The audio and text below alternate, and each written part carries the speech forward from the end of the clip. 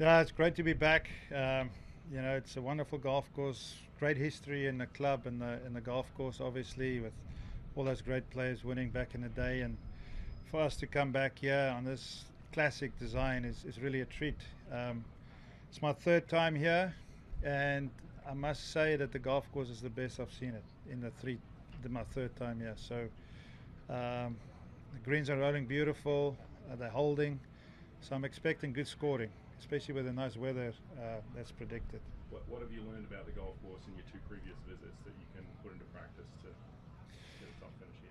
You know, if you get the ball in play off the tee, you can you can get going around here. Um, the greens are so pure, uh, especially this week, and them holding. If you can come out of the fairways, you're gonna you can you can get scoring. Um, par threes are excellent, very strong uh, par three holes. Um, it's very undulating. Some of the some of the par fours, so you got to um, have your wits with you. You know, getting your yardage is right. But if you're hitting the ball properly, this golf is go, golf course is going to, uh, you know, give you some good scores. Got a win early in the season. How would you kind of assess your form coming into this week? Yeah, I had a win in March. Um, I've had a, quite a few top tens. Um, you know, I played well in some of the majors. Um, you know, in Akron, I finished, I think, third. I finished second in uh, Birmingham. But yeah, I'm looking for wins. So um, not not too many wins coming my way. But um, I've put myself in position. Uh, but I'm looking for a strong finish uh, this end of the year stretch. I think we got eight events, so it's great to come back here and, and keep going. How about these uh, galleries and the crowds of the Ascension Charity Classic? Wonderful crowds. St. Louis, what a wonderful crowds. I mean, I remember playing back in 1992, played with Arnold Palmer, the PGA at Bellerive. And I remember, I mean, obviously playing with Arnold, you know, the king. You know, they were seven, eight deep, you know, and some of the biggest crowds I've ever played in front of in 92. And it's just a great sporting town. People love their golf. Um, even today in the pro am, there are a lot of people that came out. So it's really nice to play golf here. How's your health? I'm struggling a little with a rib um, on the left side. I did a lot of traveling um, in my five weeks off. You know, I went to South Africa, see the family, and England. Uh, flew to Seattle back. So a lot of traveling. So I think you know, it kind of took its toll on my body a little bit. But I'm I'm getting better. It's it's 100% better from yesterday. I couldn't play yesterday, but it's I'll be good to go tomorrow. I'm doing a. Uh, Go ahead.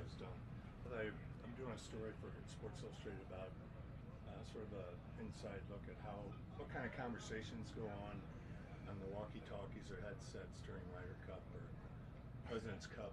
Uh, you know, from a lighthearted standpoint, not, not looking for secrets or anything like that. Mark, should we tell him? Tell him anything. Mark's been on my our team for many many years, and um, it's everything from very light-hearted to very intense stuff going on, depending on where you are in the matches. Um, a lot of organizational stuff going on, um, especially from management. You know, uh, you know, uh, a management telling you where you have to be at certain times of the day, especially to a captain. Um, to the vice captains, you know, it's, it's it's strategy and making sure that the players stay on with their strategy that we uh, planned. Um, Any good jokes? Or yeah, there's a lot going on. There's a lot of uh, language is actually the funniest thing of us all. Because on my team, you know, we got seven, sometimes seven different nationalities.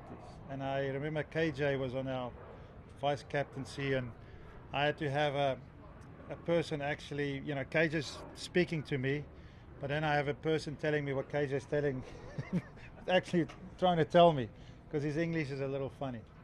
But um, yeah, there's a lot of lot of different stuff that, that goes on.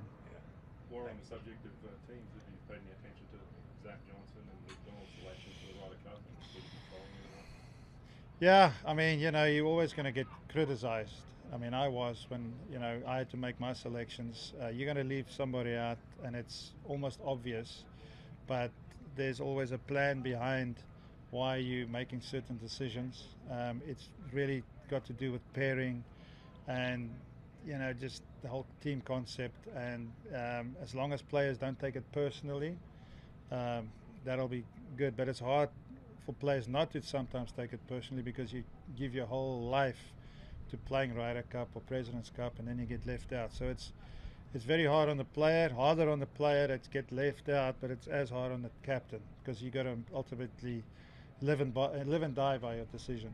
Ernie, when you were a young man on tour and develop, still developing your game, from a practice standpoint, if you broke it down among on the course, on the range, short game, how would those percentages have broken down, and how much has that changed now that technology has become a big part of that process? Yeah, good question. I mean, I felt like I was a bit of a range rat away from tournaments. At tournament sites, I didn't really, you know, put all those hours into on, on the range. I basically did all my work before I get to tournaments with David Ledbetter, especially, especially when we lived in Orlando, and David being in Orlando, I was out there. If I had a week off, I would be there five days out of the five, you know, of the weekdays. So um, a lot of work there on the range. My short game was always pretty sharp, um, and I think I was just gifted with that kind of ability. But I, I did spend a lot of time on on the short game. Putting was always kind of there. Now it's kind of flipped around a bit. Um, you know, I spend a lot more time around the greens and on the greens, and a little bit less time on the range, just because of the body. Body's a little different now. What about the technology? Technology very different now. I mean, in those days we didn't get all the help from technology, um, and the game was different. We didn't have to go after the ball as hard. Now it seems like everybody's going at it 100%. I always felt like I played 85% just to keep the ball in play. Was long enough to be able to do that. Now things have changed. Now you got to go 110% on the driver, and I think the body will break down even even quicker now. Even with how strong the guys are, the body's not built for hitting a driver at 125, 130 miles per hour.